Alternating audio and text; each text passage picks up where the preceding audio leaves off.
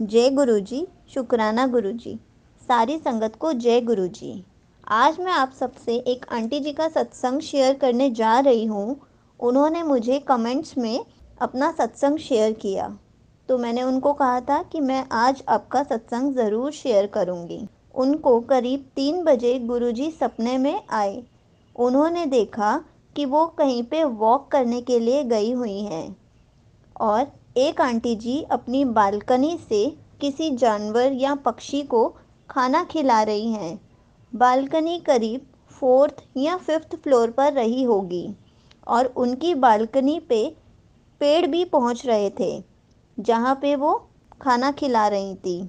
पर आंटी जी काफ़ी नीचे झुकी थी और बालकनी से गिर पड़ी और संगत जी ने देखते ही जय गुरु जी जय गुरु जी बोला बस ये बोलते ही वो आंटी जी वापस बालकनी पे पहुँच गई और साथ में उनके लेफ़्ट में उन्होंने गुरुजी बैठे हुए देखे।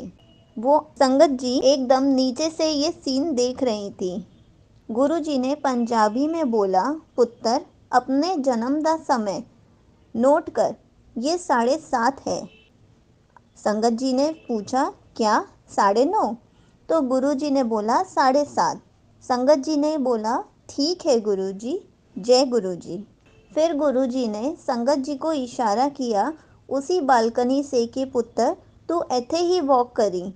जो व्यू था, वो ऐसा था कि खूब सारे पेड़ पौधे लगे थे सोसाइटी में, लेकिन रेक्टेंगुलर शेप में, और बाहर उसके टाइल्स लगी थी बैठने के लिए।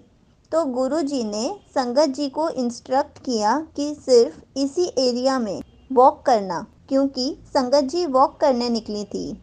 संगत जी ने बोला, गुरुजी, जय गुरुजी। और संगत जी काफ़ी खुश थी और गुरुजी इनविजिबल हो गए। संगत जी की आँख खुल गई। जय गुरुजी, बोलते बोलते। अब संगत जी आपको बताना चाहती हैं कि उनकी शादी के लिए घर वाले काफ़ी टाइम से रिश्ता देख रहे हैं, जो कि कुंडली की वजह से काम नहीं बनते। उनकी बर्थ टाइम किसी को भी घर पे याद नहीं है। कुंडली बनी है, पर कुछ आइडिया के टाइम के अकॉर्डिंग कि गेस किया है कि साढ़े नौ होगा या सात अठारह होगा। एग्जैक्ट टाइमिंग्स उनको नहीं पता है। गुरुजी उनको सपने में आकर उनका बर्थ टाइम बता कर गए और उन्होंने सारी प्रॉब्लम का सॉल्यूशन दे दिया। आंटी जी हम दुआ करते हैं गुरु जी से कि आपको जल्दी से एक अच्छा सा लड़का मिल जाए, आपकी कुंडली मिल जाए और आप हमेशा खुश रहें। और आपका सत्संग बहुत प्यारा था, इसलिए मैंने आपका सत्संग सारी संगत को शेयर किया ताकि सब सुने। जय गुरु जी शुक्राना गुरु जी आप अपने सत्संग ऐसे ही कमेंट्स में शेयर करते रहा करिए। नेक्स्ट डे मैं उन्हीं सत्संग को ज़रूर बोला करूँगी ताकि सबके साथ शेयर हो सके। सत्संग शेयर करना और सत्संग पढ़ना या सत्संग सुनना, बहुत अच्छा काम होता है। जय गुरु जी शुक्राना गुरु जी